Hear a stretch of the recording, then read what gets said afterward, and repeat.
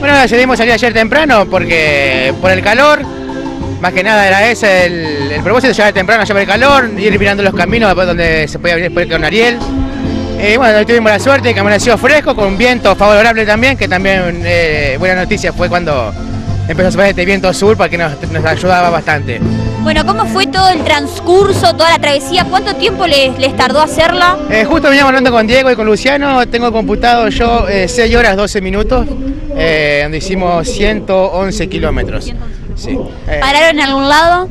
no, ya teníamos previsto algunas paradas, pues depende cómo venía Ariel por la salud de él, pero no, la verdad que venimos bien, todo el camino se paró únicamente para hidratarnos, para cargar agua en las caramañolas y nada más. Bueno, ¿hace cuántos años, te voy a preguntar personalmente, ¿hace cuántos años que andás en bicicleta? No, no, yo hace cinco años que estoy arriba de la bicicleta.